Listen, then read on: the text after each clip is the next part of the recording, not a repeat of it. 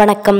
அரசு பள்ளியில் கணினி ஆய்வகத்தில் கணினி வெடித்த விபத்தில் இருபத்தி மூணு மாணவ மாணவிகள் மூச்சு திணறலால் பாதிக்கப்பட்டு அரியலூர் அரசு மருத்துவக் கல்லூரி மருத்துவமனையில் சிகிச்சை பெற்று மாணவர்களை போக்குவரத்து துறை அமைச்சர் சிவசங்கர் சந்தித்து நலம் விசாரித்தார். இனி விரிவான செய்திகள்.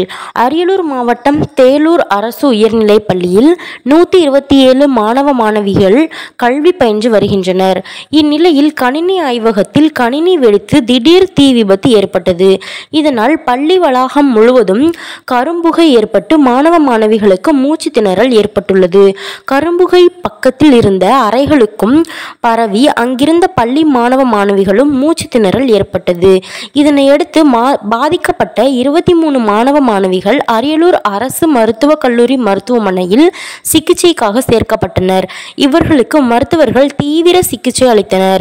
இதை அறிந்த மாவட்ட ஆட்சியர் ரத்தினசாமி உடனடியாக மருத்துவக் கல்லூரி மருத்துவமனைக்கு வந்து சிகிச்சை பெற்று வரும் மாணவர்களை பார்த்து ஆறுதல் கூறினர். இந்நிலையில் பாதிக்கப்பட்ட மாணவர்களை போக்குவரத்து துறை அமைச்சர் சிவசங்கர் சந்தித்து ஆறுதல் கூறினார். மாணவர்களின் உடல் நலம் குறித்தும் அளிக்கப்படும் சிகிச்சை குறித்தும் மருத்துவர்களிடம் கேட்டறிந்தார். இச்சம்பவம் குறித்து செய்தியாளர்களை சந்தித்த மாவட்ட ஆட்சியர் ரத்னசாமி கம்ப்யூட்டர் அறையில் ஏற்பட்ட மின் கசிவின் காரணமாக ஏற்பட்ட தீ விபத்தில் மூச்சு திணறலால் பாதிக்கப்பட்ட மாணவ மாணவிகளுக்கு உரிய சிகிச்சை அளிக்கப்பட்டுள்ளது. இருபத்தி மூணு மாணவ மாணவிகளின் இருபத்தி ஒரு மாணவ மாணவிகள் சாதாரண வார்டுக்கு மாற்றப்பட்டுள்ளனர். இரண்டு மாணவ மாணவிகளுக்கு மட்டும் தொடர்ந்து தொடர் சிகிச்சை அளிக்கப்பட்டு வருகிறது.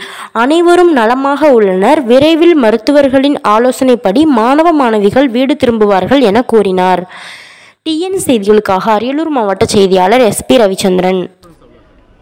இருபத்தி மூணு பேருங்க. ஒரு நாலு பேர் கூட வந்தாங்க. இருபத்தி மூணு ஸ்டூடெண்ட் இருக்காங்க. அந்த தேலூர் கவர்மெண்ட் ஹை ஸ்கூலில் கீழே ஹைடெக் லேபில் ஒரு ஷார்ட் சர்க்கியூட்னால ஒரு ஃபயர் ஆகி பூட்டி இருந்த இது. அதில் பசங்களில் யாரும் இல்லை. மேலே அப்போ அட்ஜாயினிங் ரூமில் இருந்தவங்களை எல்லாத்தையும் இமிடியேட்டாக வெளியே வர சொல்லிட்டாங்க. போக வந்ததையும். அதில் சில பேர் பயம்.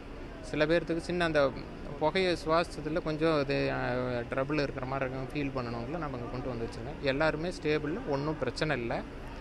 ட்ரீட்மெண்ட் முடிஞ்சு அந்த பக்கம் ஒரு இருபத்தொரு பேர்த்து நம்ம தனியாக வச்சுருக்கோம். அவங்க சாப்பாடு கொடுத்துருக்காங்க சாப்பிட்டுக்கிட்டு இருக்கிறாங்க ஒன்றும் பசங்களுக்கு யாருக்கும் எந்த பிரச்சனையும் இல்லை.